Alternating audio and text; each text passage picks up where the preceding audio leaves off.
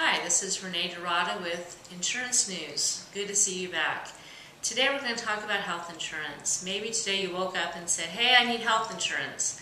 So the first thing you do, if you're like most consumers, is you go to the computer and you type in health insurance and up pops a very, very long list of health insurance providers and agents that can help you make that choice.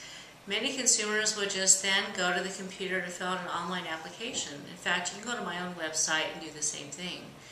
But I strongly, strongly suggest that you consult with a licensed professional before you make that choice.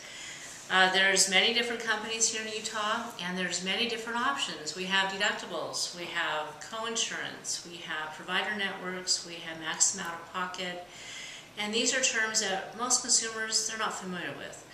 So, if you make a choice and you take an offer, the health insurance company will lock that rate in for 12 months, uh, but you're not going to be able to make a change for one to two years after you take the offer. In fact, one company, Humana, if you take an, a plan that you decide you do not like, you have to cancel the plan and wait 90 days before you can reapply.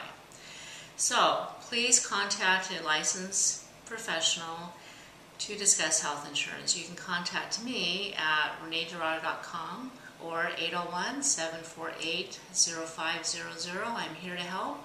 Again, Renee Darata.